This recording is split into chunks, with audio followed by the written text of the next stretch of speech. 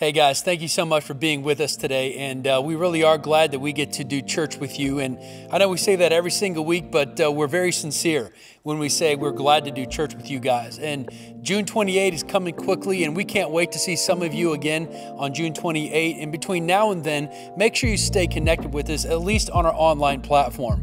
But we want you to know that we still stand ready, whether it's virtually or in person, to serve you and encourage you, pray with you, whatever you need us to do. We stand ready to uh, be the church, even though right now we can't be together. But thanks again for being with us right now. Uh, there's something that we want this community to know, and that is that we really do love you you. And uh, we want to um, uh, show you that we love you and the way that we serve you. So if there's anything that you need, we would encourage you to let us know. On our website, on the very front page, there's a link that simply says need assistance. And if you need anything, let us know. And as much as we can, we would love to come alongside you and support you in that manner. Also, we just want this city to know that we love the city. And especially in the midst of this racial crisis that's going on, this is a perfect time for the church to step up and show our community how much we love them. And so we want to do that. In fact, if you get on our website, on our YouTube channel or on our Facebook page, you will see an uploaded video that gives this community our response to the current racial crisis. And also in that video is some uh, some options, some suggestions, uh, as well as some plans on how we as a church can uh, be the tip of the spear in terms of how we can fight racial injustice and be the hands and feet of Jesus. So make sure you get online and you check out that video and be up to date. Also, I want to remind you this is a great time to uh, stay up with us on all of our social media platforms. On Facebook, we're going to encourage you to follow us there. On Instagram, like us, follow us, and then on our YouTube channel at Brookside Church FW, you can subscribe and you can be up to date on all of the other videos and messages that we have uploaded thus far. But again, that's where you can keep up with us. Speaking of online, there's a few things we want to direct your attention to. First of all, every Wednesday evening at 6:30 p.m., Pastor Yul Martin is hosting a, a prayer gathering. And especially in this time of craziness, we encourage you to pray with us. And you can do that in a community uh, setting. Also, for those of you parents who are looking for some content, some curriculum, some um, resources to encourage and lead your kids right now, we've got some great resources for you. Simply look for the parent blog on our website, and uh, Kelly and her team have put uh, all kinds of good stuff up there. Uh, I want to remind you um, that um, we have every Sunday uh, a service ready for you at 9 o'clock, just like you're here right now. And even though that's going to shift to a 9.30 and 11 o'clock service when we get back together, we let me encourage you to invite your friends, your family, your neighbors, have a watch party.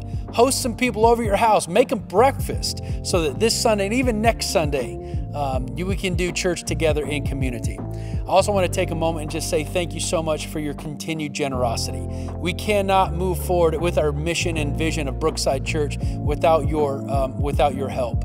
And so let me encourage you to continue doing that. We, we really need you to come alongside Brookside, partner up with us, and, and move this vision forward because we really do believe the best of Brookside is yet to come. And we believe we're not going to get there without you. And so there's some very easy ways that you can give online. You can give on our app or you can give on our website at brookside.org. You can simply click the give link and you can give very easily that way. You can also continue to give in person. You can send your gift in or you can uh, bring it into the office. Uh, but thank you so much for your continued generosity, and we encourage you not to give up. So, thanks again for being with us. You are here for a great service.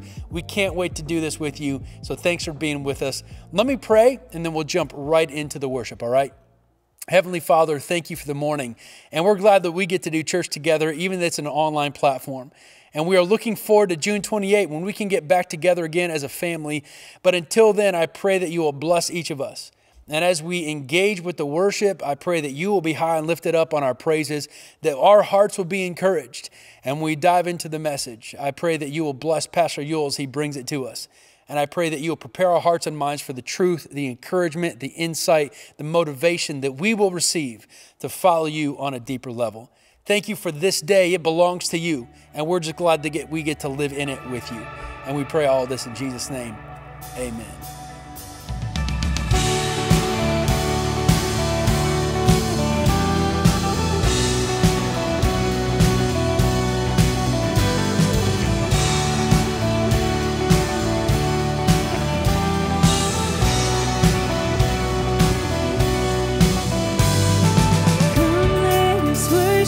Our King. Come, let us bow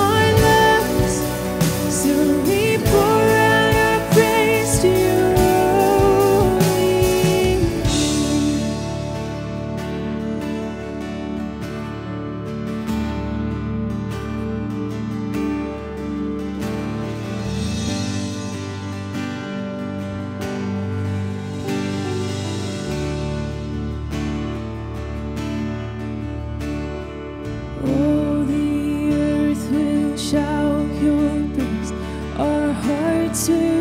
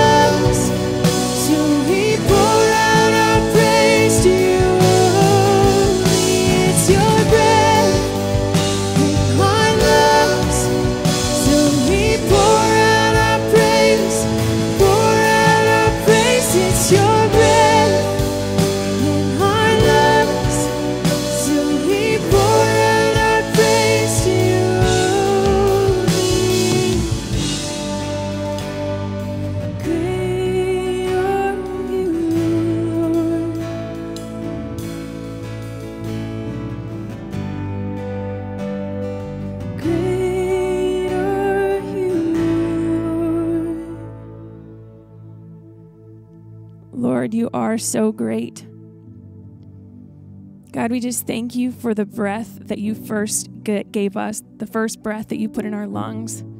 God, and we just return that breath to you this morning. God, we offer it up to you as our worship. There's so much to worship about you, God your goodness, your kindness, your graciousness. And we just lean into that this morning. And we ask that your presence be near to us and that we would be aware of your presence. It's in Jesus' name that I pray. Amen. Well, good morning, Brookside. I am Pastor Yul. Uh, I am the connection pastor here at Brookside, and I'm so happy to be sharing from the Word of God with you this morning. We have been in a series entitled Ask Us Anything. This series has been designed to be a series that really would take on some of the tough questions that we're dealing with in today's time. And today, I can't think of a better time to have this series running because our world has truly gone absolutely nuts. Um, uh, did you ever think you would see a time where you could walk into a bank with a hat on, sunglasses, and a mask, and nobody gets alarmed? You walk into our grocery stores or any other place of business, and you see people walking around with masks on and avoiding each other as if though we all have COVID 19. Um, and so, yeah, as you take a look at that, um, the world has gone crazy. We have racial tensions that's happening within our country, and in fact, not just our country, but across the world because of injustices that are happening within the United States of America. And you have people who are trying to peacefully protest against injustice, and then you've got insurgents that are coming along and, and destroying businesses and, and starting problems and riots and so forth. The world has gone crazy. But this isn't the first time that the world has gone crazy. The Bible speaks about a time, believe it or not, where the world was even more crazy than it is right now. And so this morning, uh, if you have your Bibles with you, you want to take that out, turn to Genesis chapter 6. We're going to be walking through verses 1 through 11 and we're going to be trying to answer the question on Ask Us Anything this morning. And here it is. I want to try to answer this question What do we do as Christians when the world goes crazy? What do I do as a Christian when the world goes crazy? What should I be doing? That's the question that's on a lot of people's minds because these truly are the times that try men's souls. And so we want to hear from the Lord what he wants us to do. And so let's start right there with um, your Bible in Genesis chapter 6. Uh, and we're going to pick it up right at verse 1. The Bible simply says, When human beings began to increase in number on the earth and daughters were born to them, the sons of God saw that the daughters of humans, or in some translations it says, the daughters of men were beautiful, and they married uh, any of them they chose. Then the Lord said, My spirit will not always contend or strive with man or humans forever, for they are flesh or mortal. Their days will be a hundred and twenty years. The Nephilim were on the earth in those days and also afterward, when the sons of God went to the daughters of humans and had children by them. They were heroes of old, men of renown. The Lord saw how great the wickedness of the human race had become on earth, and that every inclination of the thoughts of the human heart was only evil all the time, or evil continually. The Lord regretted that he had made human beings on the earth, and his heart was deeply troubled. So the Lord said, I will wipe from the face of the earth the human race I have created, and with them the animals, the birds, and the creatures that move along the ground, for I regret that I have made them. But Noah found favor or grace in the eyes of the Lord. This is the account of Noah and his family. Noah was a righteous man or a just man, some translations say, blameless among the people of his time, and he walked faithfully with God. Noah had three sons, Shem, Ham, and Japheth. Now the earth was corrupt in God's sight and was full of violence. Um, as we go back and we take a look at um, this passage in Genesis, what we find is that the world in Noah's day had just gone absolutely crazy. But this isn't anything new if you think about this, Jesus himself had something to say about the days of Noah. He said this um, in chapter uh, uh, chapter 24 of Matthew in verse 37, he said that his return for us will be likened to the days of Noah. And so, what did he say about what the world would be like right before he returns? What did he talk about with that? In Matthew chapter uh, 24, let's pick it up at verse 7. He says, Nation will rise against nation, and kingdom against kingdom.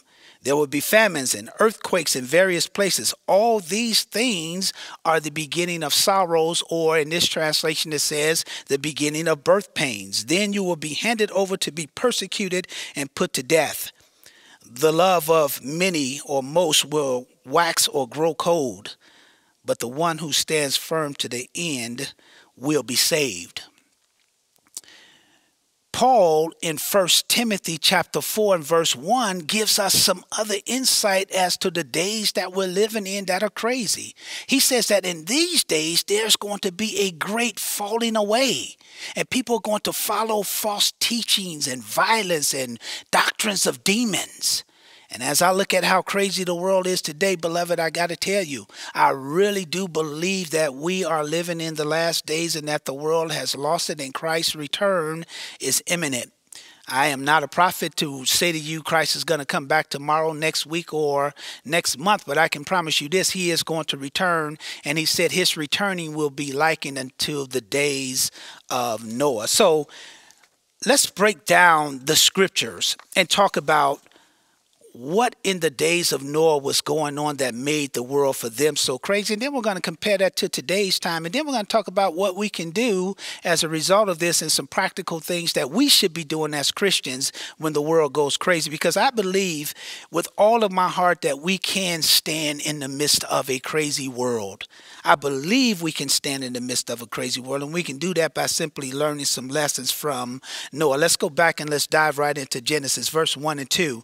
It says, Now it came to pass when men began to multiply on the face of the earth, and daughters were born to them, that the sons of God saw the daughters of men, that they were beautiful, and they took wives for themselves of all of whom they chose. It's an interesting passage of scripture because in this reading at first, you don't kind of understand what's going on until you really dig deep and you look down inside and you see exactly what was happening. Uh, what causes us to really look at this is this idea of the sons of me, uh, sons of God. What does that mean when he talks about sons of God? Well, there's two thoughts that come from this thought of sons of God. One school of thought says that this would have been the godly line of Seth who then married in with the ungodly line of Cain. And so what happened was you had Seth, who were just basically church boys who were doing good and, and, just righteous and just and walking upright. And then they look down the street and they see that Cain still has some daughters around, and they were, of course, the uh, unchurched girls who were unsaved, who drank and smoked and danced and partied, and why they just came and got together and married each other, and then all of a sudden the world just went crazy, and they started having giants in the world, in the land, and and the world became violent and so forth and so on. That's one school of thought. The other school of thought comes from the whole idea of what sons of God are called.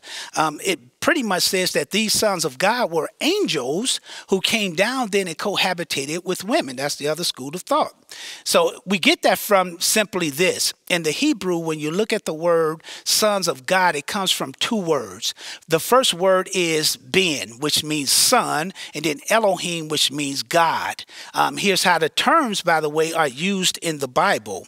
As you look at the terms in the Bible, um, it's used pretty much for a direct creation of God. Let me break it down to you like this. You and I are not a direct creation of God. We have a mother and a father right? We have a belly button that tells us that there was an umbilical cord that was attached to a mother. And so we're not the direct creation of God. This word, um, Ben Elohim, though, is used three times in the Bible or three ways in the Bible, and it's used to really talk about that direct creation of God. Here is the first way that it is used in the Bible it is used of angels exclusively exclusively in the Old Testament. Basically, in Job chapter 1, verse 6, uh, verse chapter 2, verse 1, and chapter 38, verse 7, when it says the sons of God came before the before God. Remember that in the book of Job? Well, that's the same word here, Ben Elohim. It's meant for angels. And the angels are not born, they are a created being, right? Um, in the New Testament, it's also used for Adam. Remember, Adam wasn't born. Adam didn't have a mother and father either. Adam was created by God, Ben Elohim. He was a son of God, right? And so it's used um, to talk about Adam in Luke chapter 3, verse 38, because Adam did not have a mom and dad. He was a created being. And then, by the way, it is also used of new believers, of us as believers. We said that um, he gave us the right to become what? The sons of God, this Ben Elohim. And so, but that's not talking about us as a created being. That's talking about us as a new creation in Christ. So, because the Bible goes on to say that um, in John verses 1 and 13, uh, chapter 1, verse 13, that we're not born of flesh nor of the will of man, but we are born how? Of the Spirit. Um, you remember Galatians says, and then also in uh, 2 Corinthians 5 17 says that we are a new what? Creation. You get that? We were created new spiritually. Even though we are born from our mom and dad and not created physically by God, we're created in the image of God, don't get me wrong, but we're not created physically by God. We're created by mom and dads. So this word Ben Elohim seems to be indicating that what was happening was these angels were coming down and they were cohabitating with um, the daughters of men with women, and they were having these these Nephilim, these giants, these strange um, sort of um, beings that were walking around the face of the earth. Um, Peter and June, Jude seem to confirm that strange things were happening, that the world really was going crazy in these times with these angels. Listen to what Peter says. He says, For if God did not spare the angels who sinned, but cast them down to hell, and deliver them into chains of darkness to be reserved for judgment, and did not spare the ancient world, but saved who? Noah, one of eight people, a preacher of righteousness, bringing in um, the flood on the world of the ungodly. And so, as we take a look at look at what was happening during this time peter seems to say that there was some strange thing that these angels was doing and god then had to deal with them but he gives us the time frame for that he says that happened when during the days of noah are you following me then jude gives us not only the time frame, but Jude tells us then what the crime that was happening. He tells us the crime that was committed during that time. Listen to what Jude says. He says, "And the angels who did not keep their proper domain, but left their own abode." That's the crime. He has reserved an everlasting change under gloomy darkness for the judgment of the great day. And here's what they did. Here's the crime that they were committing. Just as Sodom and Gomorrah and the surrounding cities, which likewise indulged in sexual immorality and uh, pursued unnatural desire, served as an example by undergoing the punishment of eternal fire. So, Peter tells us this was happening during the days of Noah Jude comes back and tells us they were basically, these angels left their natural state. They came down and cohabitated and started having sexual relations with the daughters of men. Now, the pushback you're going to get from these two theories is this. Well, truly, if Seth was if this is talking about Seth's godly line marrying Cain's ungodly line, then you got a little bit of a problem there because why didn't they all get in the boat and get saved? Only eight people got saved Noah and his family. So if they were so godly, then why did God destroy them in the flood? That's the problem you're going to have with them. Others would say, well, you have a problem also with the second theory. The second theory comes from, you remember when Jesus was being challenged by the Sadducees who didn't believe in the resurrection, so they were sad, you see, because they didn't believe in the resurrection. Sorry. Um, horrible attempt at humor here. Uh, they were Sadducees who didn't believe in the resurrection. So they said, well, this guy marries a lady, and then, of course, they go on down the line. He dies, then the one brother dies, and then he dies, and then on and on and on. In the resurrection, whose wife will she be? And Jesus makes a simple statement. He says, Well, in the resurrection, they are not given in marriage. They are not marrying in the resurrection. So in the resurrection, we're not going to be married. As much as you might uh, love your spouse, you're not going to be married to them in the resurrection.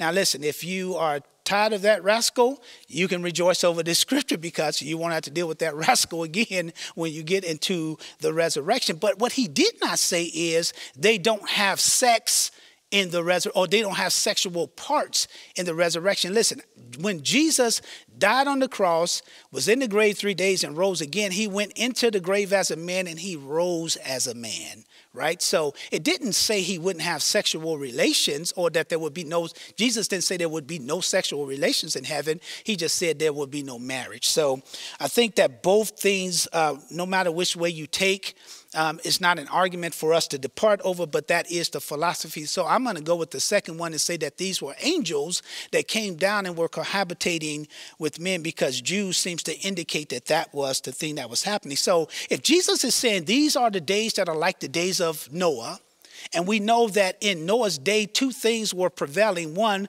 there was violence in the land. We know that from Genesis chapter 6. He said it was a very violent time. And we know that from Jude, it was not just a violent time, but it was a time like Sodom and Gomorrah where you had these horrible immoral, immoral sexual things happening during that time we know that that's the reason why that that's the reason why god chose to lock those angels up listen Satan is still walking about like a roaring lion, but these guys did something so horrible. The world was so crazy back then that he locked them away in gloomy darkness. So something was happening there that made that time crazy. How do we compare that to today if truly we are living in the days of Noah? Well, let's just take a look at some statistics that I want to share with you about sexual sin in our day and time. One of the things that we notice in our day and time as it relates to sexual sin is listen to this. Over on average, couples will spend three and a half years living together before marriage, and nearly nine, nine out of 10 couples, 89%, live together in some capacity before they get married. Here's another statistic for you. Um, well, there we go. Six six percent of people cohabitate because they don't even believe in the institute of marriage. They don't think marriage is a necessary thing, so they end up living together instead of getting married. About 3% of America's wait, Americans, listen to how low this number is in America. Only about 3% of Americans will wait until marriage to have sex successfully. That's uh, people alive right now in the U.S. alone who waited, found love, got married, um, got married, um, and then had sex for the first time after they were married. We use this little known word that you don't hear mentioned in society today at all, and that's called virginity. We are not waiting on uh, saving ourselves for marriage. When, when you, in fact, when you mention virginity to anybody, it's almost like mentioning a foreign word. You're almost ridiculed for saying that you're going to stay a virgin until you get married. That's the world in which we live in that are likened to the days of Noah. Um, and then what about violence? As we look at violence, um, Oh, let me do one more thing here before I get to violence. In the United States, more than 65 million people are currently living with an incurable STD. An additional, get this, this is startling to me, an additional 15 million people become infected with one or more STDs each year, roughly half of whom have this infection for the rest of their lives. That's because we are now a society that is sexually promiscuous. The whole idea of saving yourself for marriage is not an admirable thing. Well, what about violence? What about violence when we go to that? Um, when you look at violence, um, it says here violence causes more than 1.6 million deaths worldwide every year. How does that relate? Here's how it relates violence is one of the leading causes of death in all parts of the world for persons ages 15 to 44. So people aren't dying uh, mostly from cancer or, or some disease, they're, they're dying uh, basically based on violence.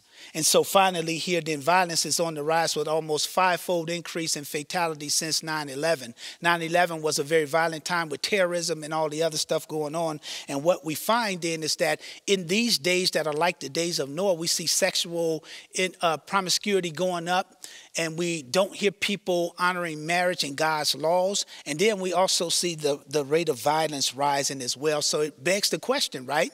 As we're on this um, series, Ask Us Anything. What do I do when the world goes crazy? What am I left to do when the world goes crazy? Well, my suggestion to you is that we start looking at the Word of God. My suggestion to you is that we start following what God's word tells us to do because I can promise you these days are as wicked as the days of Noah. I've only pointed out two ways that the world has gone wicked, like the days of Noah. And I'm sure if you go just in the corridors of your own mind and you start to think about the world in which we live today, you can find plenty of more things, or you can find plenty of more stats to talk about how violent and how sexually uh, uh, promiscuous the world is today. And so, what are we to do? How we to behave?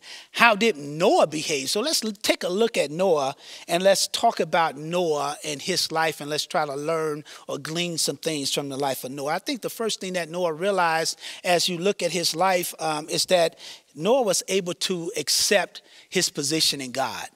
Noah knew who he was in God. Um, he accepted that position right? So um, when you look at that in Genesis chapter 6, verse 8 through 9, the Bible calls Noah this. He says, Noah was just. And the NIV, says he was righteous. Um, basically, he was a justified person. Now, listen, justification for the believer in today's world, and even in Noah's world, comes through faith, right? Um, it's through faith and believing. Abraham believed, and he was what? Justified or he was just. You and I believe, and therefore we are what? Justified and we are just uh, before God. This justification, by the way, has nothing to do, understand what I'm saying to you, it has nothing to do with my actions this isn't a practical justification, this is a positional justification. Because I put my faith and trust in Jesus Christ, I am positionally placed at, a, at the seat of Christ, and I am, as Jude says to me, presented faultless before the throne. That's justification. Justification doesn't happen when I become perfect. Justification happens because God made me just. It doesn't say that Noah did something to become just. God is the one that called Noah just. Noah didn't call himself just. God did that. You remember in 1 John chapter 1, uh, verse 7 through 9, he talks about the blood of Jesus. If anybody confesses their fault, um, God is faithful and just to forgive them, and not only to forgive them, but to cleanse them from all unrighteousness. That cleansing is written in the perfect present tense. It means that cleansing goes on through eternity. And it also says in the next verses that the blood of Jesus continually cleanses us from all unrighteousness. That's what makes us just. Not the actions that we do, but the position that we have. And let me just say something to you, my friends. You are never going to be more righteous than you are right now, positionally. Let me say it one more time. You are never going to be more righteous than you are right now, positionally because you didn't put yourself there by some action other than placing your faith in Jesus Christ. He, when you put your faith in Him, positionally put you at a place of perfection. That's why Jude says, Now unto Him who's able to do what? Present us faultless before the throne. That's a position. I am positionally faultless before the throne forever. Paul says in Second Corinthians chapter 5, um, and verse 9, he says to us um, that God was in Christ reconciling the world to himself. That's what God was doing. That's not something I did, it's something God did for me. Listen to this other verse. So then, as through one transgression there resulted in condemnation to all men, even so, one act of righteousness, Christ dying, being resurrection, and rose again, there resulted justification of life to all men. I am justified because I put my faith and my trust in God. Noah in his day, as crazy as his day was, put his faith in what God told him, and God called him just. And let me just say to you, my brothers and sisters, when God puts his grace upon you, because the Bible says Noah found grace. Noah didn't earn grace, Noah found grace. And when God puts his grace on you and me, and we find that grace, he justifies us and gives us a position of that. We, it doesn't mean that we have to do one more thing. I know a lot of us think, hey, if I just do this one thing right or I just do that one thing right, God is then going to show me his favor and his grace. No, no, no, no, no, no. You don't have to do anything to earn this. By grace, you have been saved. It is a gift of God, at least any man should boast, right? You have been saved by grace. God's grace is God holding from us that which we deserve, which is hellfire. And mercy is Him giving, I'm sorry, mercy is Him holding back from us what we deserve, hell hellfire. Grace is Him giving us what we don't deserve. And that's this being called out of darkness into the marvelous light. That's having life more abundantly. That's what God gives us. So if we're going to deal with crazy in this world, the first thing you have to realize is who are you in Jesus Christ? Who are you positionally in Jesus Christ? Have you put your faith and trust in Him? Well, if you have, you can deal with crazy in this world by just simply realizing you're a child of God. And by being a child of God, that means you have to act like a child of God and you have to behave yourself like a person of the kingdom and not a person of the world. And so, my suggestion to all of us is realize our position in Christ and realize that that position is secure because I did not put myself there. He put me there. Noah was just and found grace in the eyes of God. But he didn't just do that. It's not just enough to say, I'm saved. It's not just enough to say positionally, I know I'm going to die and go to hell. God calls each of us then, because we are saved, to take action. Faith without works is dead. He wants us to take action with our justification, right? That's called sanctification. Sanctification is where Paul says you work out your own salvation with fear and trembling. Well, that's what Noah did, did he not? Noah, the Bible says, stood for righteousness. And so that's the second thing I want us to think about doing as we think about how do we behave ourselves or what do we do when the world goes crazy. You stand for righteousness, stand for holiness. Stand for what matters that comes out of the Word of God. When you see stuff that's happening that's not biblical, stand up against it. I know that's not popular preaching today. I know that everybody today wants to just talk about the love of God, but do you realize God's flip side of his uh, love and his mercy is justice? He wants you to be angry, but here's how you be angry be angry and sin not. And so you have to stand for righteousness. That's what Noah chose to do. Listen to what it says in Hebrews, uh, verse uh, chapter 11 and uh, verse 7. It basically says, by faith, Noah being divinely warned of things, listen, not yet seen, that's faith. We believe in things that we don't see. Look at what he did. He moved with godly fear. He prepared an ark for the saving of his household, by which he condemned the world and became heir of the righteousness which is according to his faith. So Noah didn't just rest on the fact that he knew God. God gave Noah some marching orders, and Noah then did, went forth, and he carried out those marching orders, and so must we. Just because I'm justified don't mean I stay at justification. I got to move to sanctification. That's what Noah did. Listen to what he says. He was moved by godly fear. Notice in Genesis chapter 6 and verse 9, where our sermon comes from today, listen what verse 9 says. This is the genealogy of Noah. Noah was a just man, perfect in his generations. Noah walked with God. Notice it doesn't say Noah asked God to walk with him. There's a difference in philosophy and mindset when you're asking God to walk with you as opposed to you walking with God. See, I think the world goes crazy, and it goes crazy for Christians because, quite frankly, my brothers and sisters, we're too busy out here asking God to come walk with us. Instead of saying to God, Where do you want me to walk? Where are you going so that I can walk with you? The, we're not, listen here, we're not here to change the Bible, as my brother would say to me. The Bible is here to change you. We've got this thing just a little bit twisted. We're always asking God like he's some kind of servant, a butler or something, to come walk with us. No, I don't want God to walk with me. I want to walk with God. Wherever God goes, that's where I want to be. And so that's what Noah did. Noah walked with God. And then Noah did all that God asked him to do. God, listen here. Listen how crazy the world was. You got all these crazy, violent, sexual things happening around Noah. Noah's looking at all this stuff, and Noah's thinking, man, the world is going nuts. And what am I to do? And God whispers in his ear and says, I tell you what I want you to do.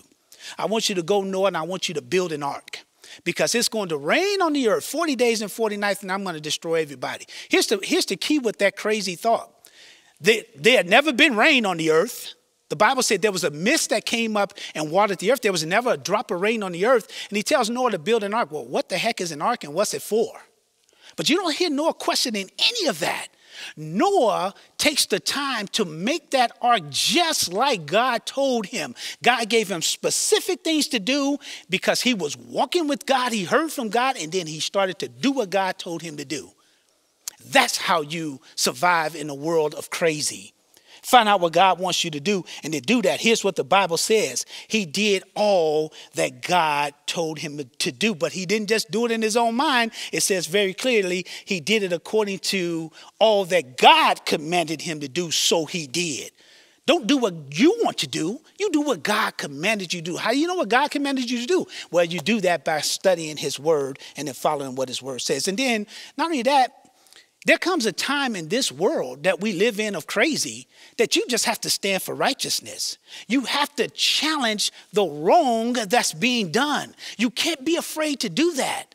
Too many times we don't want to offend somebody. Well, let me just tell you Jesus said offenses are going to come. They're not coming from Pastor Yul. Pastor Yul is just simply telling you what the Bible says. So if the offense is coming, it's because one, either you don't know Jesus Christ and you're fighting against his word, or two, you know him, but you're living in rebellion. Because you, you and I live in rebellion and we don't want to follow the word of God. Noah didn't care about any of that. Noah preached righteousness. Can you imagine this?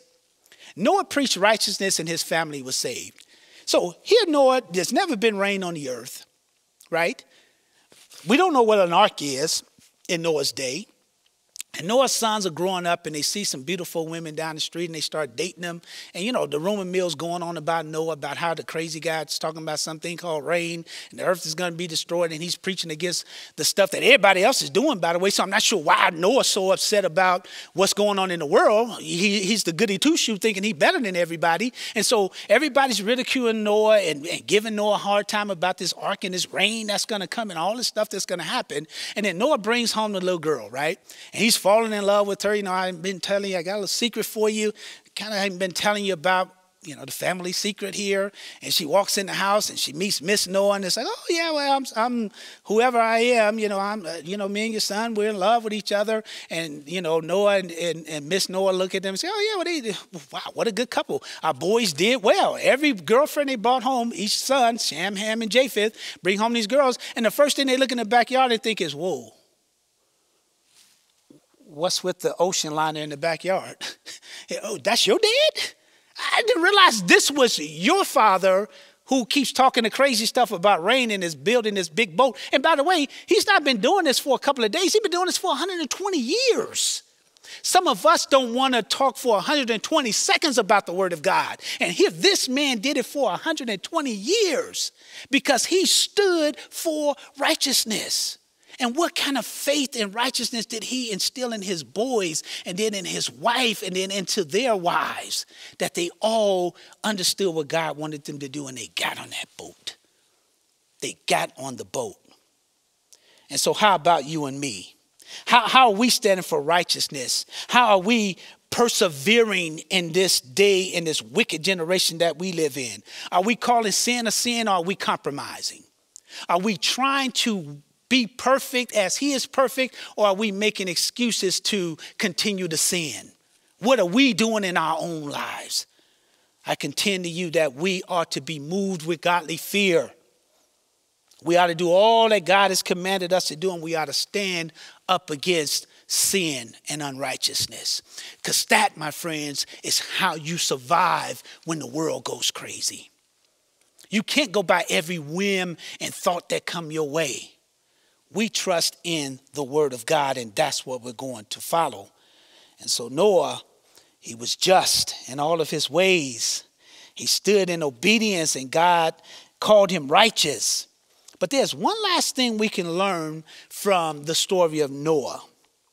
as it relates to what to do when the world just absolutely goes crazy.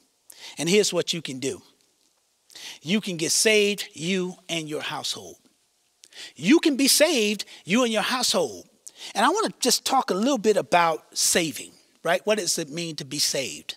So here's how it happens. When I don't know Jesus Christ, I just simply confess that He is Lord. And then he's faithful and just. He forgives me of my sins. And then he says, Whoever um, calls upon the name of the Lord shall be saved, right?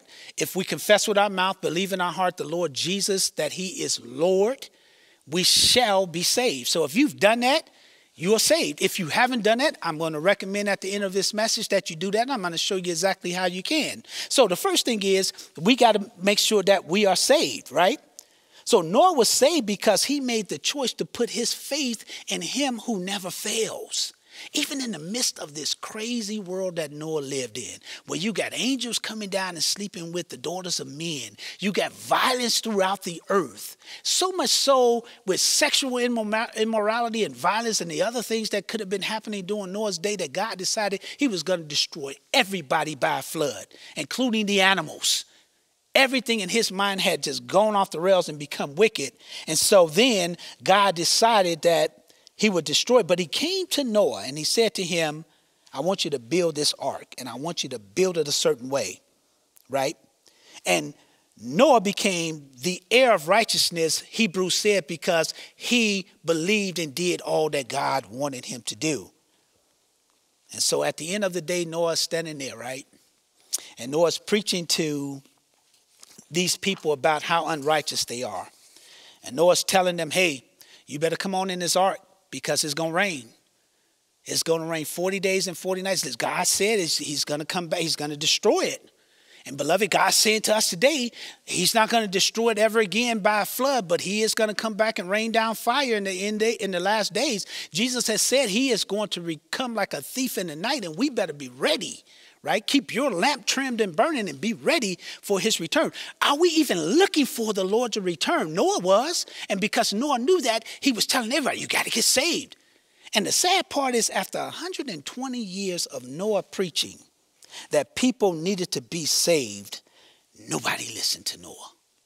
Only seven people heard the gospel message that Noah preached and got in that boat. Only seven people got in the ark eight if you include Noah.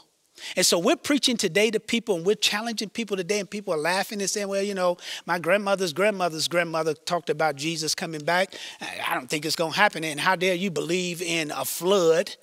You believe God created stuff in six. Me you go back to Genesis, and people are ridiculing us all over the place. And so, as you go into all of this, and as you think about getting saved, Noah finally, God said to him, Come into the ark. Come, it's time, son. Take you, your wife, and your kids and get into the ark. I want you to notice a couple of things that happened as this story ended before the flood came. God gave the invitation to come to Noah. He says in verse 7, verse 1, Then the Lord said to, chapter 7, verse 1, Then the Lord said to Noah, Come into the ark, you and all your household, because I have seen that you are righteous before me in this generation. You stand out only because you name the name of Jesus. You don't stand out because you're a goody two shoe. You don't stand out because you're perfect. You don't stand out because you get it right all the time. Neither do I. We all sin and come short of the glory of God. But here's the difference we heard God's voice and we answered it, even in the world of crazy. We answered God. And thank God we did because God is the one that in Jesus Christ was reconciling us to himself and he invited us to come in and we heard that invitation. If you're out there and you don't know Jesus Christ, here's my question for you. The invitation still stands strong. There is still room at the cross for you. Though millions have come, there's room for just one. Because let me tell you something. Not only have I been saved, not only am I being saved through God's sanctification process of me, but I'm going to be saved one day when He cracks that sky and He comes back for me. And I don't want to, I, you know, I heard a song that I used to listen to growing up, and it's called Millions, right? Um, it's by the Winans that says, Millions didn't make it, but I was one of the ones that did. He says, I'll just begin to cry. He'll wipe the tears from my eyes. I'll say thanks, and he'll ask why. And you know what my reply is going to be? Millions didn't make it, but I was one of the ones who did. I will not be missing that calling. I will not be as those, as John says in the book of First John, that shrink away at his coming. I'm going to run to my Lord and Savior, meet him in the middle of that sky, and be happy that I did. I will be like Moses because he gave the invitation and we came in. He's given that invitation to you. Come on in. Come on in this house. He wants you. And the last thing I want to say to you before I close this out and give the invitation is this. I want you to notice one more thing. There's so many things we could talk about through the story of Noah. I've only given you a snippet of them. I suggest you go back and read uh, the Genesis uh, 6 through 9. A great story of Noah. Go into Hebrews and Tim, uh, sorry, into uh, Peter and Jude and, and double check everything I'm saying because it's a great story. But here's the coolest part about the story to me. When Noah was invited into that, that boat, did you notice that there was only one door? There was only one way to get in. There wasn't all these different alternatives. And then two things I want to say about it. One way to get in, and God was the one that shut the door.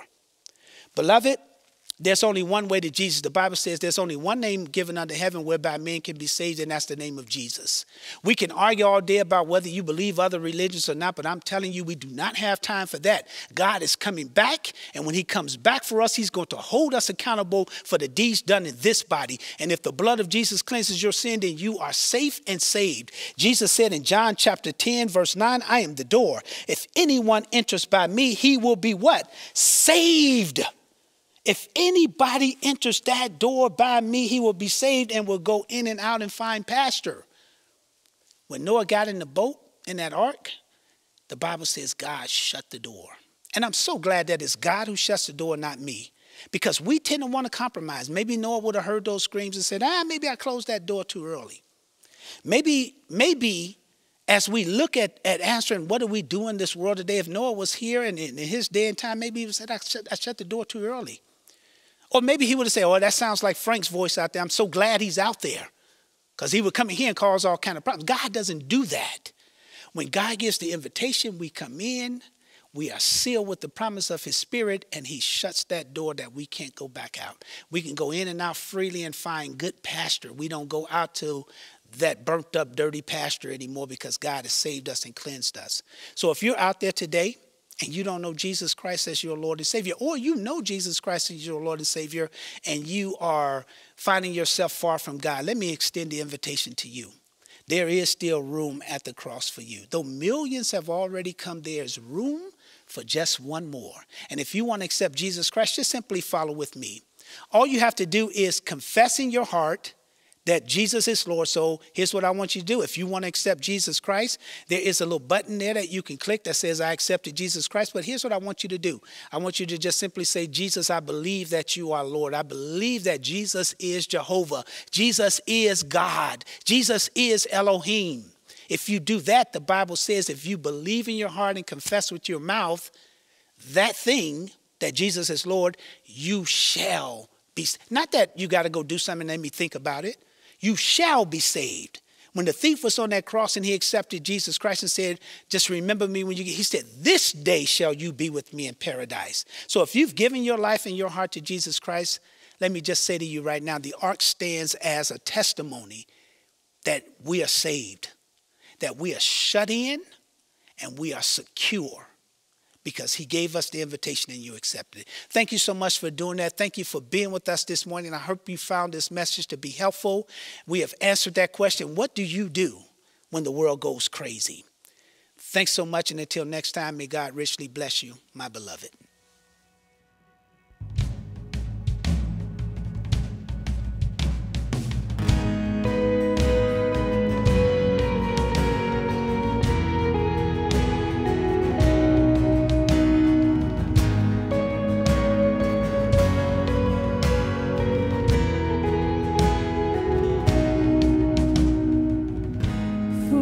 spoke a word, you were singing over me.